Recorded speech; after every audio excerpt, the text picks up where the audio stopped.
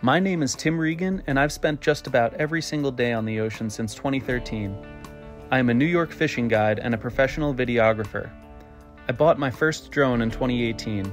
The following July, the ocean transformed. It was Tuesday morning as the shark swam through massive schools of fish. You have the bunker fish out there, you have all the whales that are out there. The Atlantic menhaden population had rebounded. Nobody alive could recount another time when New York's beaches were so flush with life. All sorts of species flocked to the coast to prey upon the massive schools of bait. Bald eagle and osprey populations began to blossom, and the abundance of baitfish kept their fledglings well fed.